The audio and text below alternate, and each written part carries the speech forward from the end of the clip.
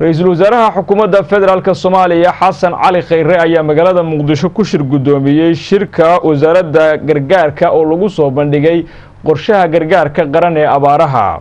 Warbixinta warkan waxaa muqdisho ka soo diray waryaheena ciise cabdi ciise ra'iisul wasaaraha xukuumadda federaalka soomaaliya mudane xasan cali kheyre ayaa shir guddoomiyey shirka wasaaradda gargaarka iyo maareynta masiibooyinka oo looga hadlay tubta horumarinta arrimaha bulshada. Shirka ayaa intii uu socday lagu soo bandhigay qorshaha loogu gurmanayo haddii abaara ay ka dhacaan dalka wasiir ku-xigeenka wasaaradda gargaarka iyo maareynta masiibooyinka cabdirashiid maxamuud ayaa ka hadlay qorshaha wasaaradda iyo sida loogu hortegi karo haddii qeybo ka mid ee dalka abaare ay ka dhacaan. Waxaa hadda noo soo dhammaaday shirkii tubta arrimaha bulshada.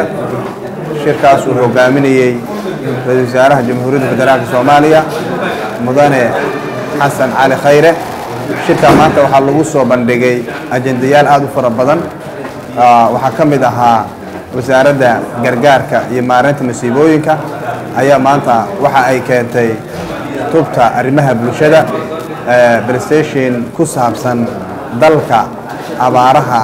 Haddii ay ifan abaara ka dhacaan qaabkii looga hortegi lahaa bay wasaaraddu soo bandhigtay.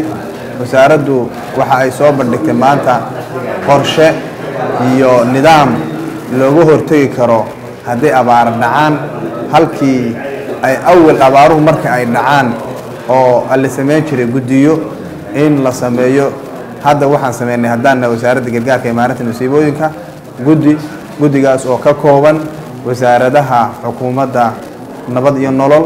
Waxaa ka mid ah guddigaas wasaarado ilaa sagaal wasaaradood ah wasaaradda arrimaha gudaha wasaaradda caafimaadka wasaaradda beeraha wasaaradda gargaarka iyo maareynta masiibooyinka waxaa kaloo ka mid ah maamul goboleedyada wasaaradaha ka jira wasaaradahaas oo ah wasaaradaha gargaarka iyo maareynta masiibooyinka guddigaas oo isku dhufan guddigaas oo ka shaqaynaya dalka. Ilaahay nugumaba keenee hadday abaara ka dhacaan iyo hadday fatahaada ka dhacaan. Halkii marka ay dhibtu timaada la ordi jiray hadda waxaan sameynay qorshe iyo ballaan ah in inta dhibtu intayna dhicin in aan keenno qorshe iyo baleen wasaaradda ayaa keentay maanta qorshahaas aad iyo aad baa golaha loogu falanqeeyey. Su'aalo badan baa la iska weydiiyey. Qorshahaasuna wuxuu ku dhammaaday guul iyo gobonnimo. Waxaa kaloo la keenay golaha maanta wasaaradda caafimaadka ayaa waxay keentay warbixin ku saabsan cusbitaaladii ay la wareegtay. Ayay waxay ka keentay iyaguna warbixino aad iyo aad u qurux badan. Warbixinahaasaa lagu soo bandhigay bartaas.